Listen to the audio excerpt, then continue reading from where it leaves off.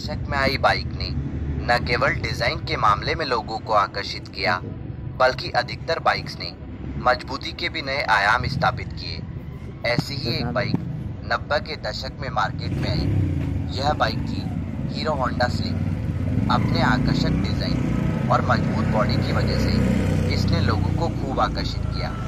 लेकिन तकनीकी खामियों के कारण यह बाइक विफल हो गई। तो चलिए दोस्तों एक बार फिर चलते हैं। नब्बे के दशक में आई बाइक, हीरो होंडा स्लिक के सफ़र पर। और जानते हैं इसके शानदार इतिहास को। हीरो होंडा स्लिक को साल उन्नीस सौ नवासी में लॉन्च किया गया था। बाइक को दिलचस्प और स्पोर्टी डिज़ाइन के साथ पेश किया गया था, जिसका लक्ष्य युवाओं